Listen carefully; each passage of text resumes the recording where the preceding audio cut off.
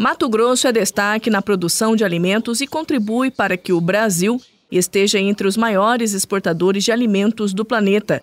E para debater a importância e evolução do setor, o governador Mauro Mendes participou da abertura do Fórum Internacional da Agropecuária, organizado pelo Canal Rural, que reuniu lideranças do agronegócio nacional e internacional para demonstrar a jornada de sucesso no setor agroalimentar.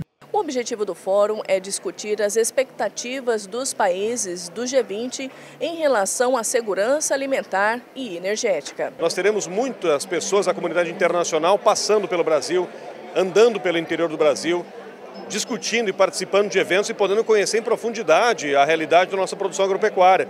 Então, é, é, nós brasileiros precisamos aproveitar para criar esses ambientes, esses fóruns, para fazer esse relacionamento e fazer esse aprofundamento de informações. O governador destacou que Mato Grosso é um grande exemplo de desenvolvimento sustentável, produzindo em larga escala, mas conservando a biodiversidade com a redução do desmatamento ilegal.